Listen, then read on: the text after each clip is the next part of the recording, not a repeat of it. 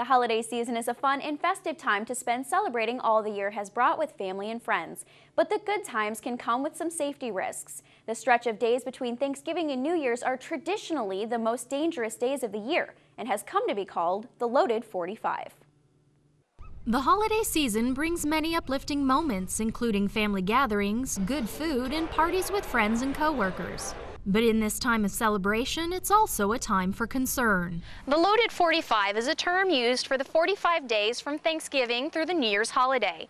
It's a time where people as well as law enforcement see a lot of problems. And during this time period, there are a range of dangers plaguing this holiday season. For that time period, you're going to see a number of traffic accidents because you're going to have an increased number of folks on the road. Uh, some of them would be on the road driving a little bit uh, beyond their capabilities, trying to get home to see relatives or loved ones. You'll also see some folks that overindulge, and uh, again, more traffic accidents uh, or potentially just DUIs.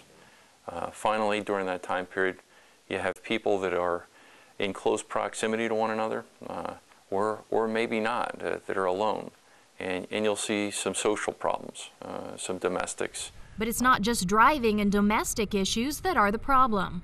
At the end of this time period, we'll also see uh, on post is an increased number of hot urinalysis uh, for those people that went beyond overindulging and uh, used illegal drugs. And, and, typically in the January, February timeframe, we'll, we'll see a number of them. During the holiday season, what you have is a lot more traffic accidents. You have a lot more slips, trips, and falls. Uh, you'll have a lot more house fires associated with holiday lights or it's carbon monoxide. You have a lot of overindulging during the holiday season, so you have a lot of poison control issues too with children, adults, and pets. Everybody talks about mistletoe, but mistletoe is actually a poisonous berry. And finally, before each drive, you're going to want to make sure that your car is in proper working order. So check your tire pressure, your lights, and your fluid levels, and make sure that you get enough sleep before each drive. Because by staying alert, staying aware, and making the right decisions, everyone improves the odds of a happy holiday season. Melissa Bell, Fort Benning TV.